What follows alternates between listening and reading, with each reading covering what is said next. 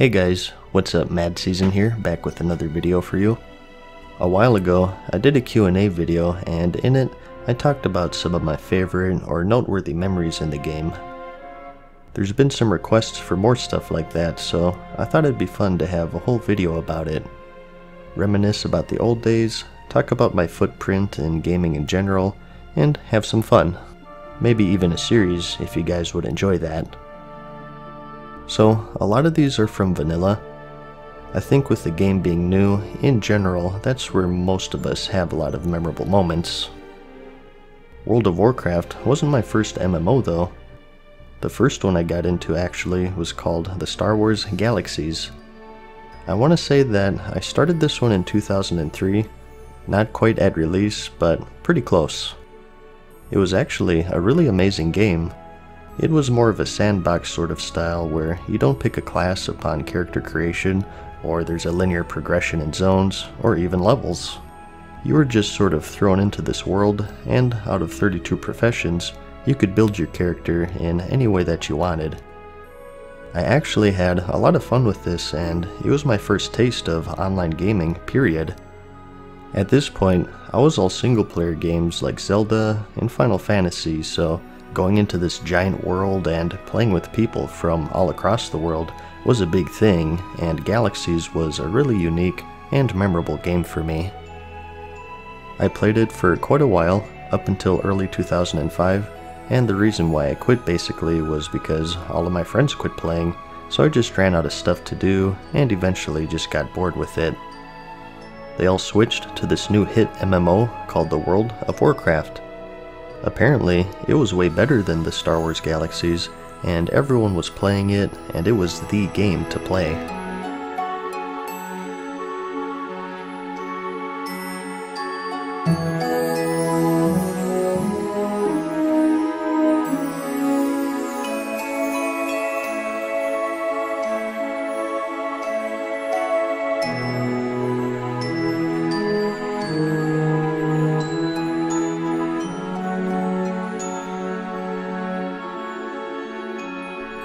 I resisted for quite a while, kind of making my last stand in Star Wars, but eventually, in March of 2005, I made the switch. So, a few months after the official release was when I got started. I installed the game, watched the intro cutscene, and was pretty blown away. I thought that there's no way that the whole game looked like that, and I was right. My first impression of the graphics was pretty poor actually, you gotta keep in mind that I was coming from a futuristic sci-fi Star Wars universe game, which didn't have groundbreaking graphics, but with the right settings, it looked quite nice at the time. So, going from that, I immediately noticed the sort of cartoon-style graphics that the World of Warcraft had, and I was like, ah man, I just wasted 50 bucks for a Disney game, didn't I?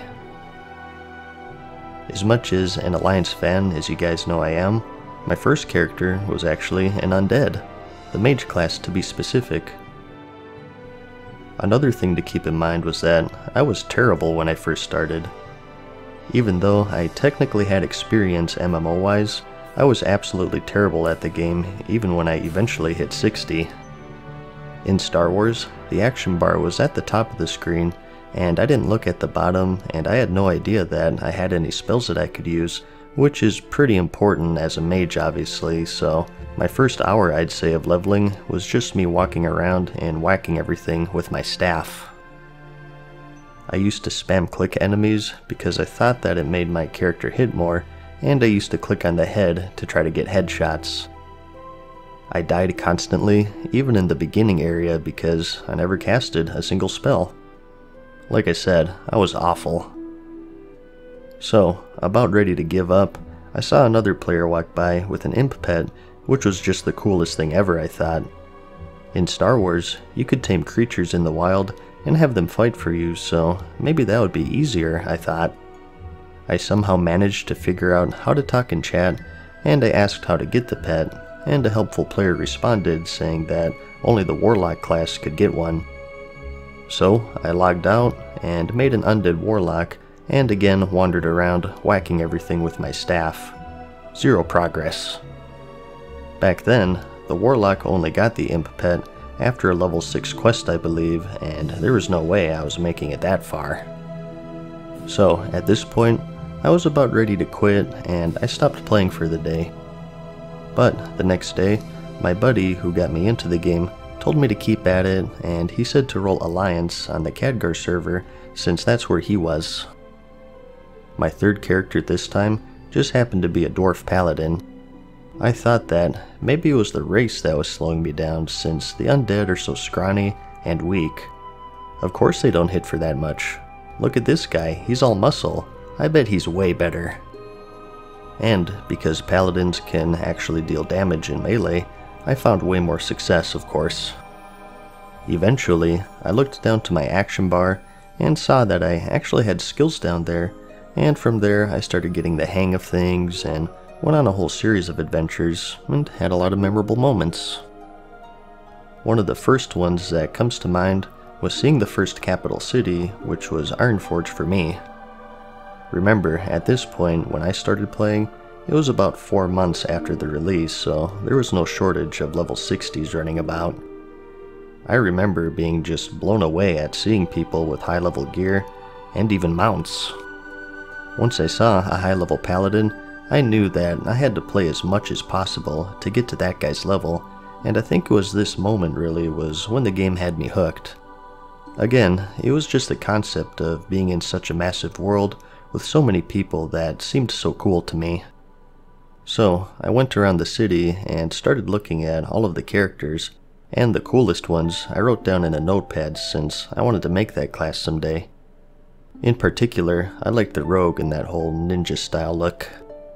Everyone had these special glowy weapons, which turned out to be just weapon enchants, but I asked in chat how to get the fire and ice swords, Someone answered something about enchanters, which completely flew over my head. Everything was a mystery, and I couldn't wait to level up and figure out the ins and outs of the game. So, my first city, a very memorable moment. Eventually, I reached level 10, which was big because you got to pick your specialization.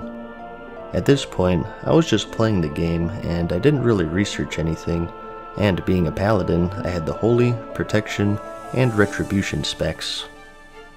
Another thing that I should note at this point was I also had no concept of the different roles in the game, that is, tanking, damage, or healing. In Star Wars Galaxies, every character could pretty much do everything if you wanted to, so having someone dedicated to just taking damage or just healing was a foreign concept for me. In Star Wars, if you wanted to be more tanky, you just threw on an armor set. And if you wanted to heal, you just picked up a couple of boxes in the medic profession, which was also very easy, so this role system was something I didn't really consider. I looked through the choices of each tree, and in the Holy Tree, I saw an ability called Holy Shock. It was at the bottom of the tree, but it said it did like 300 damage, which was insane at my level. I was hitting things for like 10 damage at this point, so I want this ability, I thought to myself. But what didn't occur to me was that by the time I could actually get it, I would be like level 40, and at that point, 300 damage wasn't really impressive. So, yes, I actually leveled to the mid 40s, I'd say, as a Holy Paladin, but with a mindset of a damage role. Even worse was, I used a one-hander and a shield. If you watched my other videos, you all know how slow and painful vanilla leveling was. Well, I found a way to make it even slower. Needless to say, it took me many months to eventually reach the max. It did get me into dungeon groups a lot though. I was more in a damage mindset, and people would ask me what spec I was. I'd say holy, and they'd assume that I was a healer. They'd ask if I could heal, and I said, yeah, technically, I have some healing spells, and I'm capable of healing. Again, it just didn't click that it was preferred that some people had certain roles. So, little did they know, I had no idea what I was doing, and I'd be up there with the tank, whacking everything with my sword. Only occasionally throwing out some heals as I saw fit. Yeah, there were a lot of wipes if I was the only healer. On that note though, Maybe it wasn't as bad as I'm thinking. hybrid builds did actually exist back then, and paladins had some good options in that regard. Maybe that's why I like the Holy Paladin in Legion so much. You get to be in the thick of it, and the spec rewards that, and maybe that's an echo of the old days that I was fond of. So, eventually, I joined my friend's guild and made a bunch of new friends. Some that I still talk to, to this day actually. I had a druid buddy named Maver, his real life friend named Zarg, and another paladin named Liquid Vision. Those were my closest friends back then, and to this day, and we'd run dungeons together all the time. It was my preferred way of leveling, as opposed to the conventional questing, and it was handy too since quests were actually quite sparse back then, and often you'd run out of them and have to grind mobs. At least for the common player with limited knowledge of the game. Some of these dungeons, of course, record you to travel between continents, and that was another memorable moment for me, although pretty embarrassing.